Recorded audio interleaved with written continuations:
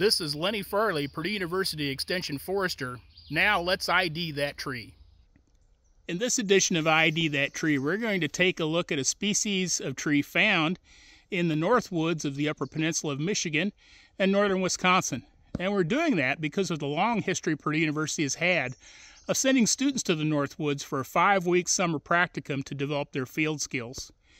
This species is balsam poplar, closely related to the aspens and cottonwoods. Balsam poplar is not as common as quaking or trembling aspen in the UP, but can be found in scattered locations and is somewhat similar in terms of its form, uh, but relatively different bark and also leaf characteristics.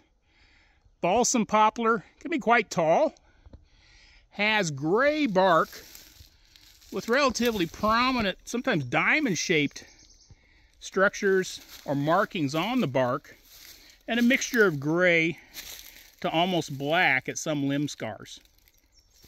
Very vertical form to these trees, as is common in many of the poplars and aspens. Alternate simple leaves, relatively stout twigs. One of the ways to tell this species from the poplars, or pardon me, the uh, aspens and some of the other poplars in this area are the elongated, sharply pointed leaves that are much broader at the base and much longer typically than we find on the aspen species up here like big tooth and trembling or quaking.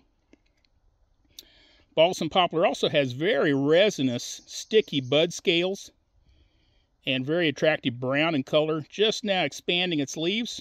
Alternate leaf arrangement, simple leaves, and very, very finely toothed margins almost appearing to be smooth. You can see the leaves themselves also look relatively resinous and shiny. So balsam poplar, closely related to the other aspens and cottonwoods, and occasionally encountered here in the Upper Peninsula of Michigan.